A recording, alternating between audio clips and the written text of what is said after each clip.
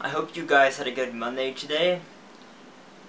Things that happened today, Google acquires another company, cell phones cause you to fall out of the sky again, and we can now make light up kidneys.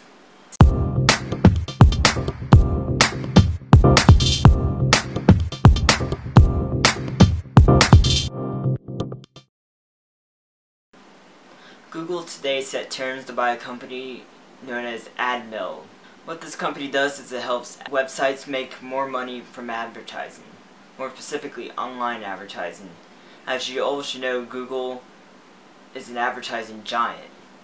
They make most of their revenue from advertising and they like to acquire companies that help increase that revenue for advertising.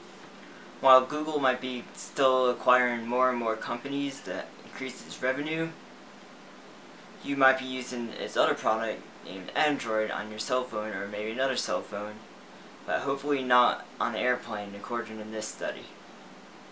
According to a study from the International Air and Transport Association, more than 75 incidents of cell phone interference on planes across the world between the years of 2003 and 2009 were recorded. It's not like this hasn't been brought up before, but apparently cell phones cause interference in planes. I just don't see why if they would even have equipment on planes that can be interfered with by cell phone radiation. It's obvious almost every single person that goes on a plane probably has a cell phone nowadays and there are more and more people that use their cell phone during flight which is to me I, I really have no opinion on this right now because I've never actually seen a crash caused by a cell phone. I they've caught, talked about malfunctions in in landing gears and like communication systems and all this stuff caused by cell phones, but how does a RF signal, same wireless type of signal as like maybe a Wi-Fi signal, which now a lot of planes have Wi-Fi on, GPS signals, how do how do those signals not interfere with the same equipment as cell phones? Do? Is it just a coincidence? You tell me. Moving on to some science. Scientists have bioengineered cells that emit green light.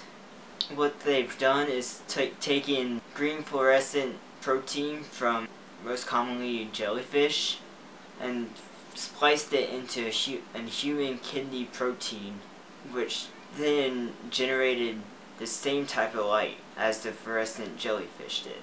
The uses scientists are creating for this could be they say they can inject these cells into your body and what they will do is when you're being scanned by an x-ray or MRI they will create more light inside of your body as to create better images from these medical scans.